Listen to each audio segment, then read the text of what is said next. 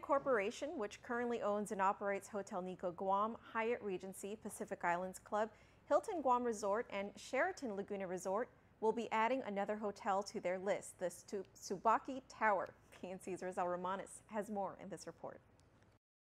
A new luxury hotel will open its doors in 2019. Ken Corporation Group broke ground this morning on what will be their sixth hotel on island, the Tsubaki Tower. Located next to Nikko Hotel, the tower will overlook Tumon Bay. This hotel is a really, really high-class hotel.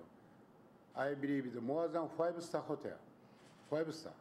So of course, it's a Guam is a very nice, uh, luxurious hotel uh, our new construction, new project is a really, really number one five-star hotel, Asia Pacific area.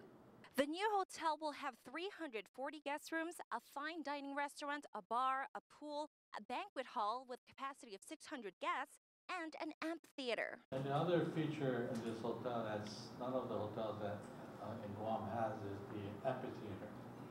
Um, so a lot of the uh, buildings, they normally have outside dinner show arena with a tent and etc. But this particular will be an open air amphitheater with uh, uh, uh, seatings that would come down to the theater uh, yard. So we can have different type of function can be possible.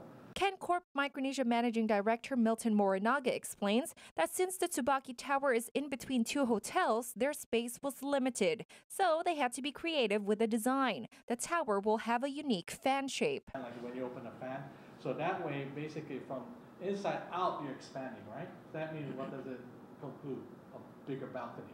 So people get to spend a lot of times at the beach, but at the same time, they want to spend more time in a room too. With all the features this hotel will include, Morinaga says they wish to attract more meeting incentive conference event or MICE business. According to Ken Corporation President Shigeru Sato, although Japanese visitors to the island is on a decline, he believes the number of tourists will pick up again in the coming years. In fact, he says Guam is an ideal destination because it's a quick getaway. Guam is a uh, South Asia Pacific area is one of the key islands.